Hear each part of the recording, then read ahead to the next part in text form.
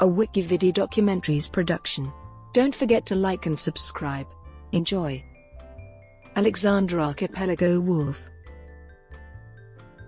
The Alexander Archipelago wolf, also known as the island's wolf, is a subspecies of the gray wolf, Canis lupus. The coastal wolves of southeast Alaska inhabit the area that includes the Alexander Archipelago, its islands, and a narrow strip of rugged coastline that is biologically isolated from the rest of North America by the coast mountains.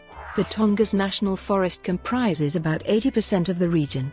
In 1993, a petition to list the Alexander Archipelago wolf as threatened under the U.S. Endangered Species Act was lodged with the U.S. Fish and Wildlife Service. The agency decided in 1997 that listing was not warranted at that time. In the interim, a multi-agency conservation assessment of the species was published. In 2011, a second petition to list the species as either threatened or endangered was filed with the Fish and Wildlife Service. It referenced scientific studies and other information that had arisen over the intervening 14 years. In March 2014, in response to the petition, the agency made a positive initial finding that listing the species as threatened or endangered may be warranted and that it will prepare a formal status review.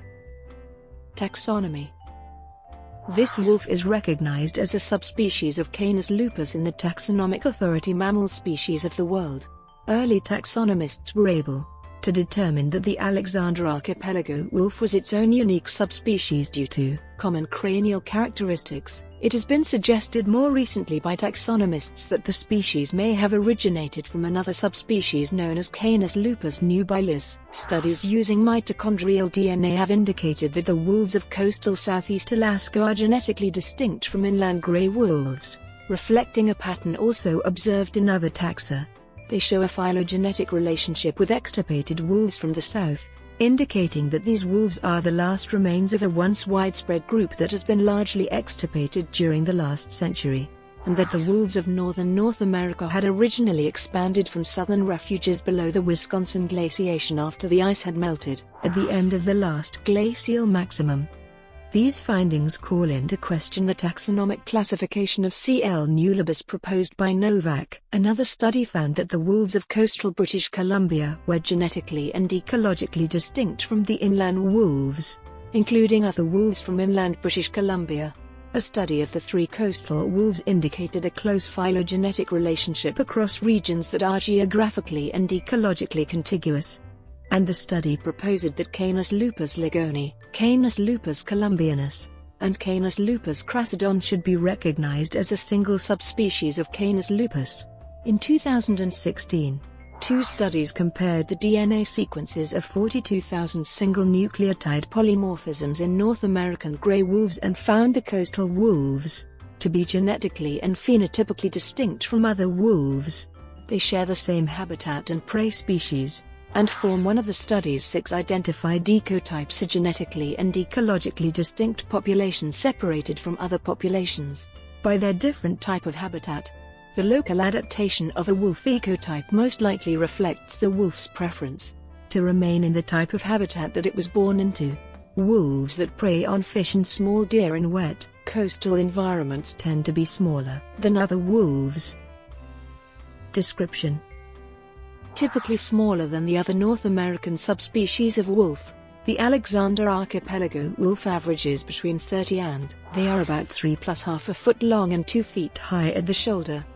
Their coat is generally a dark gray, with varying patterns of lighter shades. Individuals from different islands in the archipelago have a propensity for different color phases, from pure black to combinations of black and white to a much brighter cinnamon color. Dietary habits the primary prey of this species is the Sitka black-tailed deer, which comprises as much as 90% of an individual's diet. The next closest consumed species, less than 10%, is the North American beaver. The average Alexander archipelago wolf eats an estimated 26 deer per year. This habit of feeding almost entirely on a single species is peculiar to this wolf, and is not seen in other North American wolf species. This subspecies consumes large amounts of salmon in addition to deer, beaver, mountain goat, and small mammals. Salmon make up about 10-25% of their diet. Salmon are attributed with allowing the subspecies to have one of the higher pup survivorship of the species. Population No population estimates have been made since the mid-1990s. A radio collar study done then produced a region-wide population estimate of 750 to 1,100, with the fall 1994 population estimated to be 908. That study was conducted on Prince of Wales Island, and the region-wide estimate was made by an extrapolation based on the varying habitat capability for prey. The Prince of Wales population was estimated to be 300-350. During fieldwork in summer 2010, the Alaska Department of Fish and Game determined the Prince of Wales Island wolf population has recently declined sharply. ADFG was unable to collect enough wolf scats to make a population estimate based on DNA. Reportedly, only a small fraction of the expected number of scats was found during this effort, in which a number of known denning sites were checked and transects were checked over an extensive part of the island. In a regulatory proposal for the Alaska Board of Game's November 2010 meeting to help protect the species, ADFG estimated the island's wolf population to be 150, down by half or more from the 300-350 for the island determined by the 1990s radio collar study. Reproduction In southeast Alaska, pups are usually born during the last two weeks of April. Dens are usually built four to five weeks prior to the birth, between the roots of trees, in small caves or crevices in rocks, abandoned beaver lodges, or expanded mammal burrows. History Managerial Political The Alexander Archipelago wolf first arrived in Alaska sometime between 7,000 and 8,000 years ago, after the end of the Wisconsin glaciation period.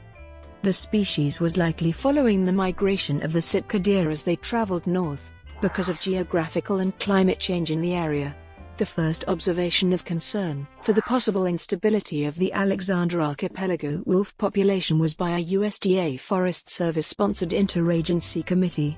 This concern came about because of the extensive logging being conducted in the region's forest under the Tongass Land Management Plan. Endangered Species Act Petition 1993 to 1997.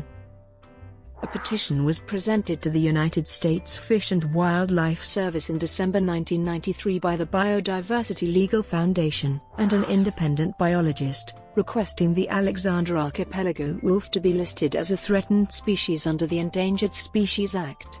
The agency published a positive 90-day finding in the Federal Register on May 20, 1994, but near the end of the year issued another finding that a listing is not warranted at this time, but that if the logging was not reduced to reservation areas created, the long-term viability of the Alexander Archipelago wolf is seriously imperiled. To better assess the status of the species, the FWS ordered a conservation assessment to be made in terms of specific data of the species and its viability for the future. After the assessment was completed, more studies were undertaken to understand exactly how the Alexander Archipelago wolf fits into the food chain, and what effect extensive logging would cause. It was surmised after study that, between 1995 and 2045, the population of the Alexander Archipelago wolf would decline as much as 25%, along with Sitka deer population declining by 28% within the same time period. In 1994, the FWS issued a memo stating, not protecting the wolf would be the least controversial option. This was in regards to the logging companies and lobbyists that opposed restrictions on logging in the area, which protecting the Alexander Archipelago wolf would create. In 1997 the petition was denied due to the findings that wolves in southeast Alaska would not be in danger of extinction within the foreseeable future. Jack Ward Thomas wrote in his book, Jack Ward Thomas, The Journals of a Forest Service Chief, about a meeting held in 1995 in regards to a consideration by the Forest Service to list the Alexander Archipelago wolf and the Queen Charlotte goshawk as threatened. The meeting was between Thomas, Undersecretary James Lyons, Deputy Undersecretary Adela Backiel, and Alaska Regional Forester Phil Janik, all on behalf of the Forest Service, and Ted Stevens, Frank Murkowski, and Don Young. The main argument was from Stevens, Murkowski, and Young who believed that the Forest Service was trying to purposefully limit the lumber market in Alaska. They demanded that the two species not be listed, or that negative legislation would follow, likely resulting in budget and personnel cuts for the Forest Service. The Tongass Land Management Plan was revised in 1997 after immense pressure from environmental groups to list the Alexander Archipelago wolf as threatened. The plan included a standard and guideline to sustain a habitat carrying capacity of least 18 Sitka deer per square mile to provide adequate prey and to limit the density of roads. The forest plan also established a system of habitat reserves. On the basis of the new plan, shortly afterward, FWS made a final determination that listing the wolf as threatened was unwarranted.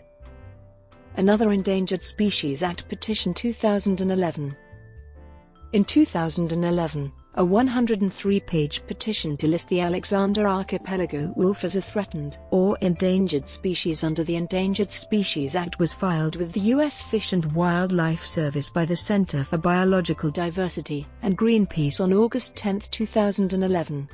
The petition requested consideration for a separate listing of the Prince of Wales Island population, because it is believed to be a distinct population segment, as well as a listing for the subspecies as a whole. In March 2014 the agency published a finding in the Federal Register that listing the Alexander Archipelago wolf may be warranted. The finding was positive on three of the five factors that the Endangered Species Act requires the agency to consider.